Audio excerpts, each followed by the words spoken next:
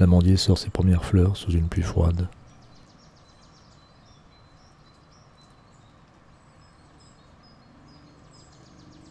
À propos du plan sur la serpillière usée, dans un précédent journal, filmer le quotidien, c'est aussi filmer le rebut, prendre le temps du face-à-face avec l'usure des objets, dans un monde du clinquant, de l'esbrouf et du neuf.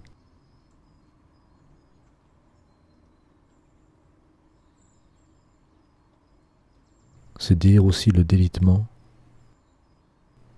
C'est une manière de le garder en tête.